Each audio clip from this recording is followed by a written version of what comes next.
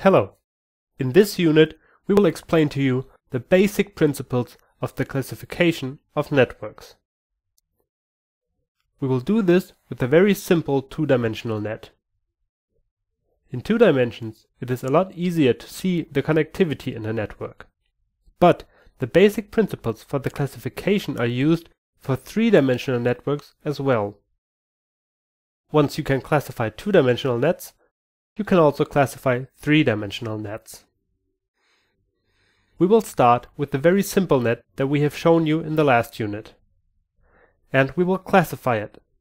And with this classification, we want to answer the following three questions that concern the nodes, or the vertices, as they are often called, of the net. How many different types of nodes are there? How many neighbors do they have? And what is their individual surrounding? Okay, for this net, the first question is quite easy to answer. There is only one distinct type of vertex.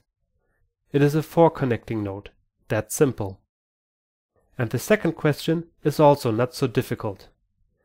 The neighborhood of a node can be expressed as a so-called coordination sequence. The coordination sequence is determined as follows. First, you pick a node. Then, you count the number of nodes that are one edge away from the origin. In this case, all nodes that are marked in blue are one edge away. Four in total. So we write down 4. Next, you count the number of nodes that are exactly two edges away from the origin. This time all these nodes are marked in yellow, and we have 8 of them. We write down 8. And we go another step further. How many nodes are there that are exactly 3 edges away from the origin? Yes, 12 nodes. They are marked in green. And how many nodes are exactly 4 edges away? 16, all marked in orange. So we write down the coordination sequence as a counting of the first, second, third, and fourth degree neighbors. 4, 8, 12, 16, and so forth.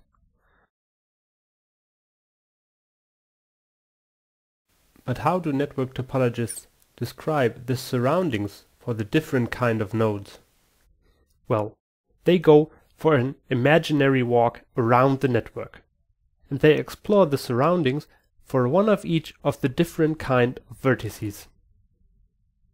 Today, Frank will serve as our network topologist. And this is how he plans his walk. He first chooses a vertex. Next, he pairs edges of the net that form an angle on the same vertex. An edge is the line that connects two vertices. We color the edges on this node now individually. There is a green, a yellow, a blue, and a red edge. And the edges are now paired as follows.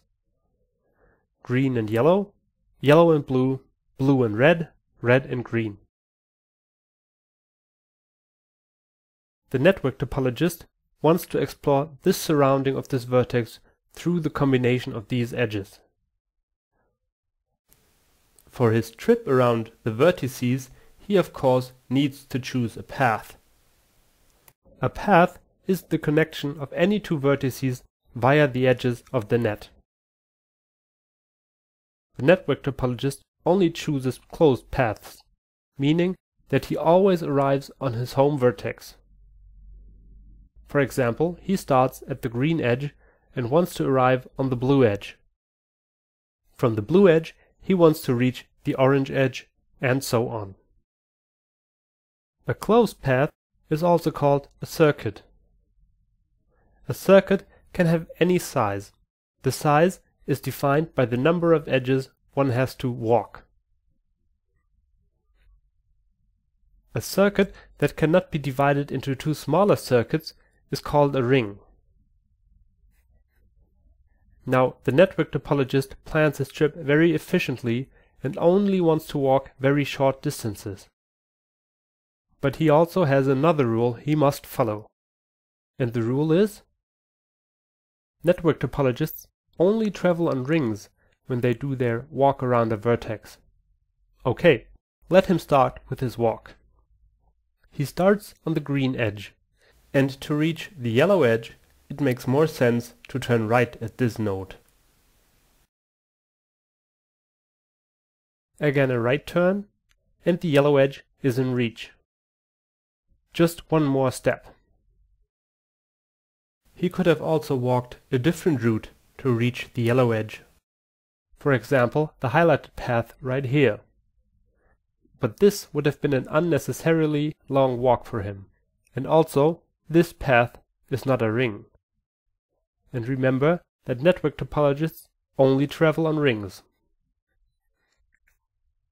Of course, the network topologist is keeping note about the routes he has taken, and he writes down the size of each ring he has walked along.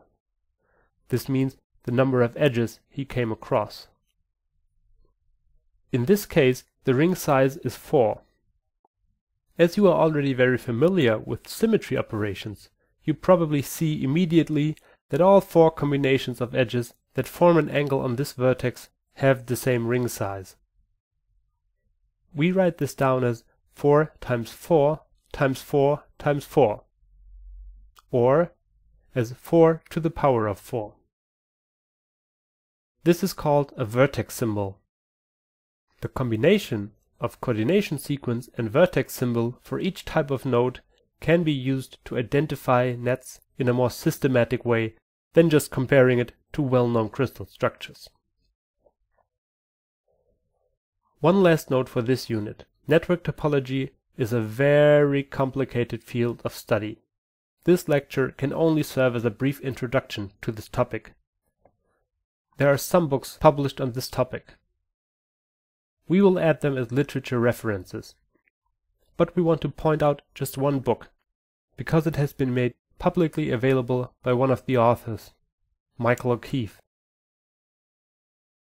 If you want to learn more about this topic, this book is probably one of the best resources if you are looking for open access documents. Okay, now you have been introduced to the basic principles of network topology. Next week, we will use a computer program called Topos, which is very useful to classify even very complicated networks semi-automatically.